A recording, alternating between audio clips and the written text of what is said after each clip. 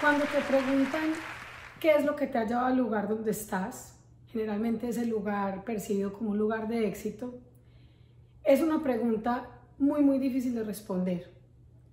Yo recientemente pasé por esa situación, eh, entonces hice un análisis muy detallado de mi vida y encontré algo que había sido recurrente en diferentes etapas de mi vida profesional. Y quiero compartirlo con ustedes porque creo que tal vez incluso puedo contagiarlos y influir en que lo adopten como parte de su vida.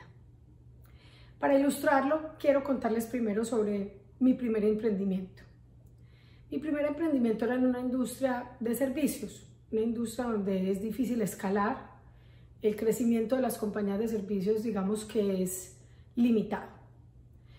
Era una compañía que yo había fundado en compañía de varios socios, principalmente uno con el que construí todo lo que hicimos, uno con el que dirigía la compañía, y a pesar de que teníamos otros socios que habían aportado el capital y nos daban acceso a una cartera importante de clientes, pues él y yo construimos todo. Dirigíamos la compañía teníamos, digamos, el control, a pesar de tener obviamente una junta directiva que nos ayudaba en la toma de decisiones más difíciles.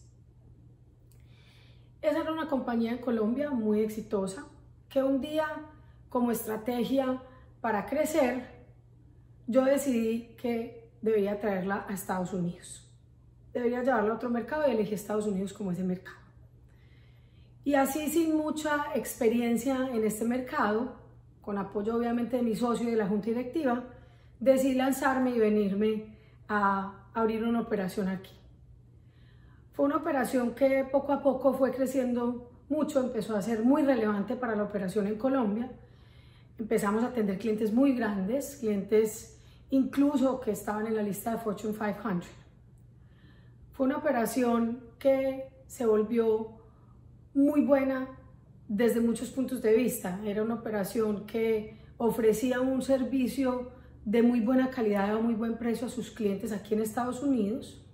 Adicionalmente, los empleados que trabajaban para esta compañía pues estaban en contacto y aprendían de las más altas tecnologías porque las tecnologías eh, que usaban estas compañías a quienes atendíamos acá en Estados Unidos eran las más avanzadas y los socios en Colombia recibían dividendos todos los años porque siempre dábamos utilidades. Un día recibí una llamada de uno de los socios que además era también un miembro de junta a hacerme una recomendación. Me dijo, Andrea, tú construiste una operación que según veo está dando muy buenos resultados. Tú te inventaste esa operación de Estados Unidos y la estás dirigiendo. Yo quiero recomendarte que tengas más participación accionaria en esa compañía. Yo me quedé pues muy impactada por la llamada.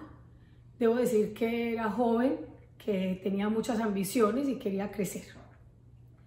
Dejemos ahí esa historia por un momento para que hablemos de algo importante que va a complementar todo lo que les voy a contar. Y es la naturaleza humana. Los humanos somos muy buenos estableciendo relaciones de confianza. Somos muy buenos colaborando, creando equipos de trabajo, estableciendo relaciones duraderas con otras personas. Pero somos de naturaleza egocéntrica. Desde que somos pequeños, mostramos rasgos de egocentrismo, que si no los trabajamos deliberadamente cuando somos adultos, se pueden convertir en un problema muy grande para nuestras vidas.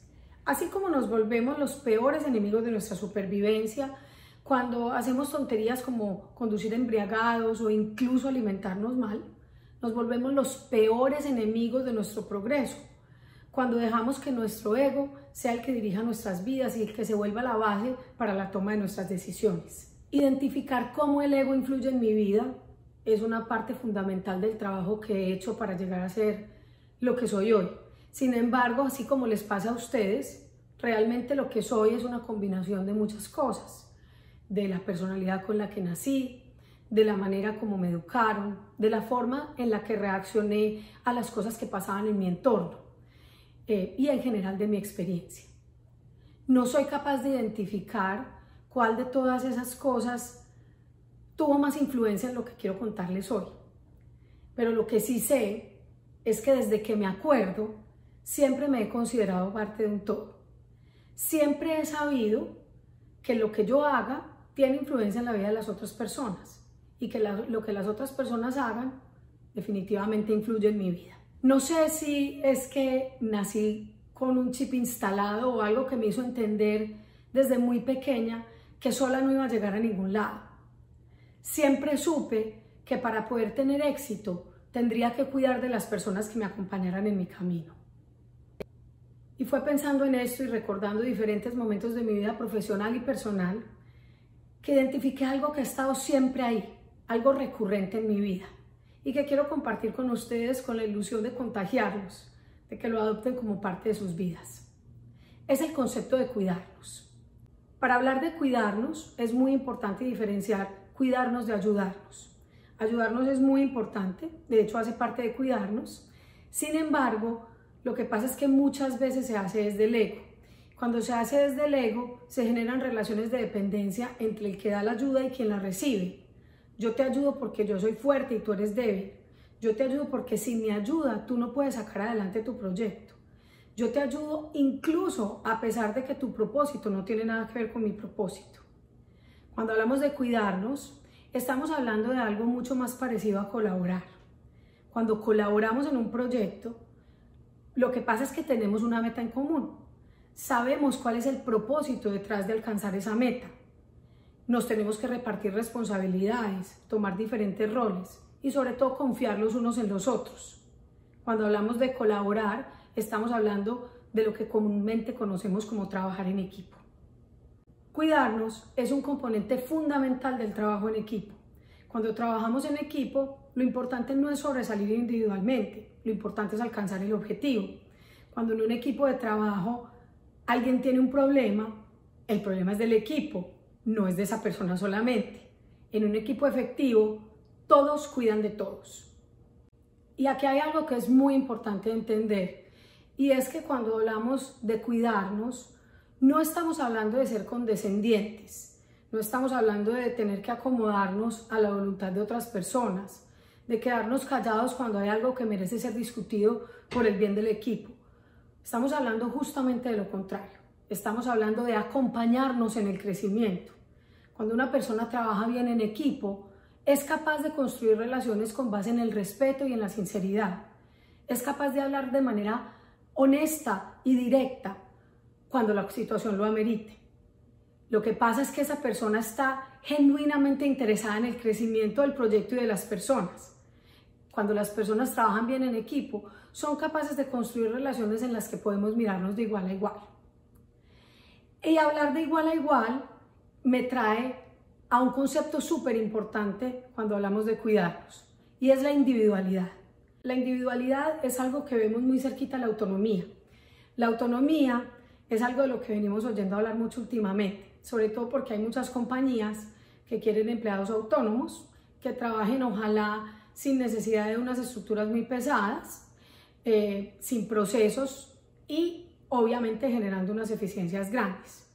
Para mí la definición de autonomía es muchísimo más profunda que esa que en mi opinión es facilista.